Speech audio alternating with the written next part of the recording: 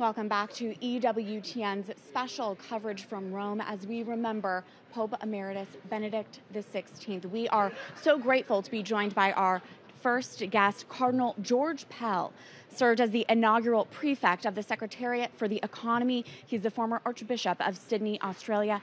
Your Eminence, welcome. When did you first meet Pope Benedict? I think it was about 1990.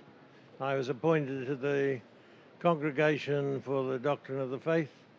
So I was still in, uh, in Melbourne as an auxiliary. So I'd come over for a meeting uh, once a year or so. So I met him uh, when he was prefect of the um, Doctrine of the Faith. Wow. And tell us about your interactions with Pope Benedict. Uh, well, first of all, there uh, was very formal. The material was distributed beforehand. Everyone was supposed to have read it. It was a pretty good uh, group of people. I think they had read the material. Uh, then everyone in turn would speak. I was a junior person. Uh, once he started with me, I think, to see whether I had anything to say myself. Uh, and did you? And I did, I did, I did. Uh, but I've really, I don't think I've ever encountered a man who was so good. He would briefly introduce the topic. Uh, then, when everybody had spoken, he would synthesize what was said, he would analyze it, and then spell out his position. I've never encountered anyone who was better uh, at that uh, than he was. He was a, a very formidable intellectual mm. and uh, an enormously uh, well-educated theologian, and, and, in many other areas too. Yeah. Your Eminence, you welcomed uh, Pope Benedict to Sydney uh, for World Youth Day. What was that like to have a Pope travel to Australia, and what was the impact that you saw on Australia itself? Well, I was uh, very pleased. We were delighted in Australia. We're a long way away, of course, uh, to get a Pope uh, to, uh, to come to us. Um, people were impressed uh, by him. I mean, his uh, early image was totally misleading. Mm. It wasn't that he changed, it's just that uh, because he was appearing so frequently in public, people could see that the caricatures um, about um, Panzer Cardinal uh, were, were, just uh, wrong. Um, he spoke uh, beautifully. We had more overseas visitors than the Beijing Olympics, which was uh, later uh, in that year.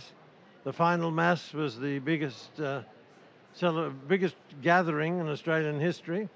And of course, um, the Holy Father was a great man for the liturgy. He insisted that it be prayerful and adoration, and he was enormously successful. I remember he, being able to hear the birds after communion at the final mass with 400,000 people uh, with, with Benedict, which is, says quite something for the recollection and quiet and peace and prayer of, of that group. And there was such a generational divide, it seemed, between Pope Francis and world youth who who yeah well I know I'm not too much into that uh, uh, children get on well with their grandparents well uh, and uh, uh, he he was a very educated man, and he was used to listening to people, so he could address uh, their problems, and he'd do it clearly uh, and elegantly. But yes, he was a, there's a great, uh, um, a, great uh, difference in years, but uh,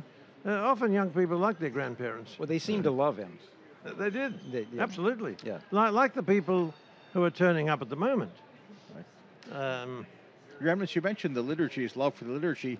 While you're now more known for your economic reforms and the task that one of the major missions you had for the church for about 10 years was working on the translation uh, of the Roman Missal into English, which now, yes, almost yes. 10 years on, the whole English speaking world uses. Uh, for most of that time, it began with John Paul, but it came to fruition under Benedict. You must have had a lot of conversations with him about the liturgy and about that collaboration. What can you share with us, what you learned from him on the liturgy? Um, well, I read uh, a lot uh, of his writings on the liturgy. I think uh, from him more than anyone, I learned just how important the liturgy is uh, in maintaining the health of the church. Um, he, uh, he was a German Uh, and like many Germans, he was uh, very sympathetic towards English speakers, uh, perhaps especially the British. Um, he understood our problems, uh, and he understood the importance of an accurate, non ideological uh, translation. So, first of all, that was when he was at uh, Doctrine of the Faith on the translation of the Catechism. And then he, our, our work was a bit controversial. I mean, well, I think it's the translation has settled into place now, but he backed us all the way because he understood uh, all we were trying to do was to get uh, an accurate and appropriate translation of what was in the English, uh, in the Latin text. When you look at Pope Benedict's life as a theologian, what do you think will be his greatest contribution? Ah, that's a, uh, a very good. I think his greatest contribution is that he fulfilled the job description of Pope, uh, which you find in uh, the Gospel of Matthew and the Gospel of John. Uh, as Pope, he was the foundation man of the church, the rock man. Uh, and uh, the principal role of the Pope is uh, to maintain the purity and clarity of church doctrine so that the people in the pews are being taught what Christ and the apostles taught. And uh, as successor of Peter, he has the power of the, key- the keys uh, to rule um, that something is not compatible with the apostolic tradition. Uh, and of course, he's there to strengthen the faith of his brothers and sisters. And um, I mean, I'm just so pleased that so many tens of thousands of people are streaming uh, past uh, uh, his corpse as it lies uh, in state. These are the people who are speaking. Ordinary battlers from the pews, their families. People mightn't be perfect, mightn't even be at church uh, every Sunday, but understand the beauty of what we've got in the Catholic Church. They're, they're Benedict's people, and they're here in droves, Absolutely. I think 65,000 were estimated yesterday. We- which was double what they estimated, Yeah. uh, what they uh, anticipated. and nonstop today. It continues tomorrow. When you look at Pope Benedict's writings, what do you think his legacy will be there? What's his greatest writing, in your opinion? I'm not sure that I could usefully um, answer that. Perhaps his three volumes on Christ, uh, his attempt to uh, reconcile the historical critical method uh, with the tradition of the church and a proper understanding, and uh, making it quite clear that uh, we, uh, traditional Christians, we Catholics, uh, for us, truth is fundamental. I remember hearing a discussion on the scriptures uh, uh, on the BBC, and all the participants uh, thought that the truth was it was just what had been said that was useful for propaganda purposes. Now, um, Benedict was totally opposed uh, to that. So uh, he wrote three beautiful volumes there. So that that might be his greatest contribution. He was remarkable for the extent and variety uh, of his writings.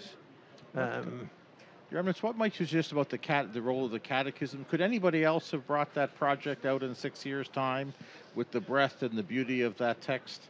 Uh, no, well, there's no one with his uh, capacity. Uh, I suspect he's had almost no speechwriters uh, because nobody could write as well uh, as, uh, as uh, he could.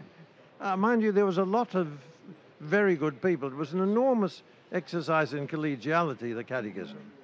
And with the help of computers, you were able, they were able to bring in thousands and thousands of comments uh, from around uh, the world. And uh, Cardinal Schönborn worked on it. I mean, he's no mean theologian, uh, scholar himself.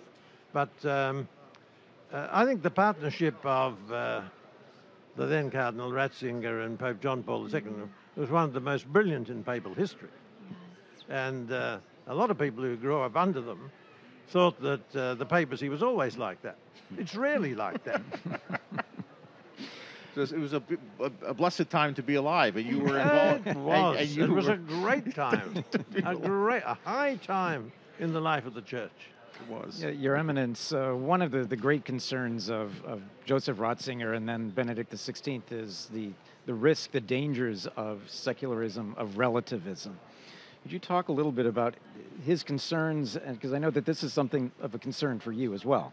Um, yes, well, he, I think is uh, uh, sermon when he mentioned the dictatorship of relativism, it's been uh, exemplified now, uh, in which so much of the old uh, liberal consensus is uh, threatened, where in the past we prided ourselves on the freedom of the individual to, to, to speak. We uh, almost went, you could say, you almost went to war uh, to defend uh, free speech. And, and now uh, you've got people who are racing around claiming that they're offended. Uh, well, I mean, if we Catholics tried to close down the discussion every time we were offended, public discussion would be radically reduced. Uh, and um, this question of identity, group identity, that what's not important is the, the truths at, issue, but what tribe you come from. Mm. I mean, that's, uh, that's a regression. It's not civilization. And he was right to warn uh, about it. Your Eminence, final question while we have you. Looking back at Pope Benedict's life, what are you most grateful for? Um, I think I'm most grateful. Uh, this is a, a selfish Australian point of view for the fact that he came out to us for World Youth Day. I think he's being buried in uh, the chasuble, the vestments that he used in the Sydney World Youth Day. I'm, I thought that originally was Australian propaganda, uh, but they assure me that it, it is uh, right. But um, if that is the case, I'm, I'm absolutely delighted. But uh, uh, he was also a friend, and uh, uh, I was almost surprised how sad I was when he went. I knew I'd miss him, and um, what is really important, of course, is that the legacy of John Paul the Great and Benedict survives and thrives. Now, there are other traditions to be developed, complementary, that's very good, but they represent an essential strain in Catholicity that is vital for our uh, health. Not always po- popular, uh, but um, vitally necessary for to, to, be to be faithful to Christ. We are so grateful for your insights this week. Thank you for being with us and our condolences because thank it is it is a loss for all of us. And Cardinal George Pell, thank you so much, Your Eminence. A pleasure.